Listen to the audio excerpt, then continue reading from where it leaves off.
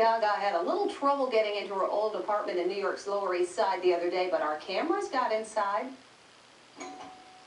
Hi, this is Lady Gaga. When Lady Gaga tried to show 60 Minutes special correspondent Anderson Cooper her old New York City apartment, You're buzzing all of the buzzers? Yeah. the woman who now lives there wouldn't let her in. Um, I'd rather not have any cameras. Okay. But we managed to persuade the young woman, Emily Ting, to let us in. And here it is the Lady Gaga called home before she became famous. It's a cozy three room apartment. The kitchen is in the living room. There's a small bedroom, and check out the tiny bathroom.